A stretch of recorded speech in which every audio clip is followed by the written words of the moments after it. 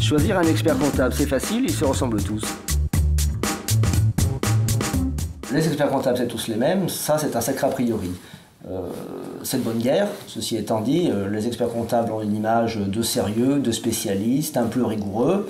Euh, néanmoins, c'est comme si je disais tous les franchisés se ressemblent, ça n'a pas de sens.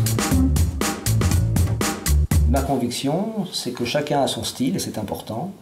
Moi, je travaille avec des hommes et des femmes, des chefs d'entreprise, et au-delà de la compétence technique, je considère que la relation humaine est essentielle au bon fonctionnement entre nous.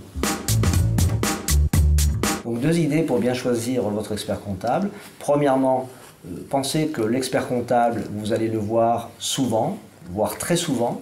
C'est la personne qui va vous accompagner dans votre projet, euh, dans les bons moments comme dans les moments les plus délicats.